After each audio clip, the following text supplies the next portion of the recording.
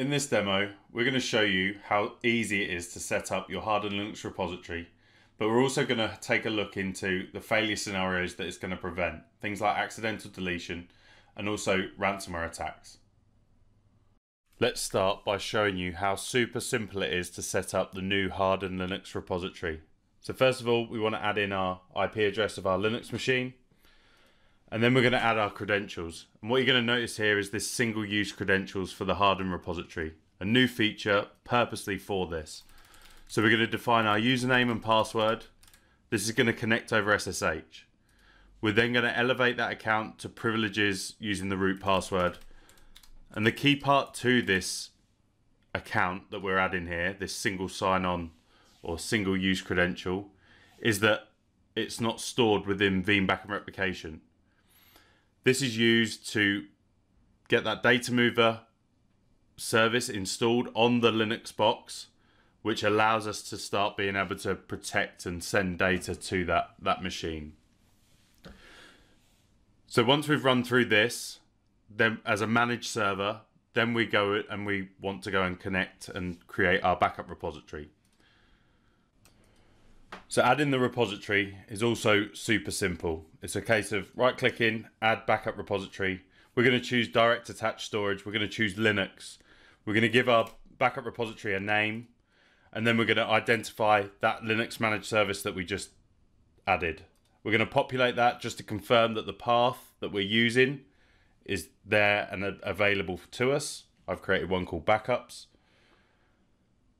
Next, I want to come in here and this is where we define some of those important settings that come in version 11. So firstly, let's populate. Secondly, we have our fast cloning technology that came within version 10. And then we have make recent backups immutable for seven days. This is the important feature that we're talking about today. Minimum seven days, but it can obviously be longer. So then the rest of the wizard is super simple. This is where we're going to just review what what uh, services we've already had um, applied to that that server, apply that, and then this will become available to our backup jobs as a target for both backup jobs as well as backup copy jobs. So then if we jump on over to a job that I created before, go into another hardened Linux repository, you can see here that we have our backup jobs and they are listed as immutable until.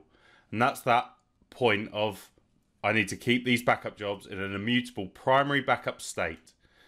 Now we want to look at what about accidental deletion? Accidental deletion could absolutely happen to any of us. The whole fat thumb or fat finger approach.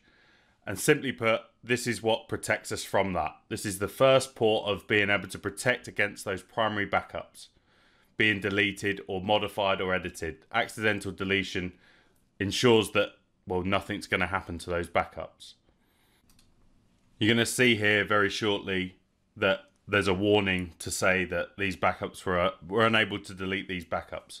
But what about a little bit more malicious activity, such as how do we get around that immutable until date? Well, let's take a look at if we were to move that date forward, then we'd have exactly the same outcome it's smart enough. Well, the actual setting is on the actual Linux box itself. Okay, now into the shell of the hardened Linux repository. First and foremost, we would highly recommend that this is made secure. If it is a physical machine with physical access, then disable SSH. If it requires remote access via SSH, then implement MFA. For the purpose of the demo, I'm using the Veeam account. What if someone not so nice did get access to this and was able to SSH to this box? This is the same Veeam account that was used to register this Linux server, the account under which the data mover service runs, and thus is the owner of all the backup files. Next, we're going to look at our backup folder and list out our backup files. Now let's try and do some damage. Operation not permitted. Now let's take a look at that immutable flag we are using on our backup files.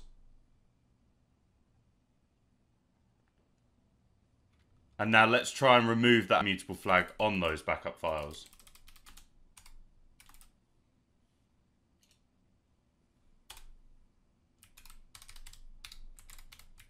Just give it a password.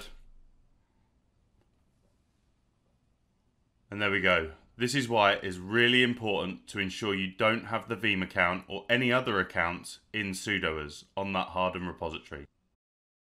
In that demo, I was able to show you the easy setup of the hardened Linux repository, as well as being able to show you some of those accidental deletion scenarios, but also how, how it can help prevent against ransomware attacks.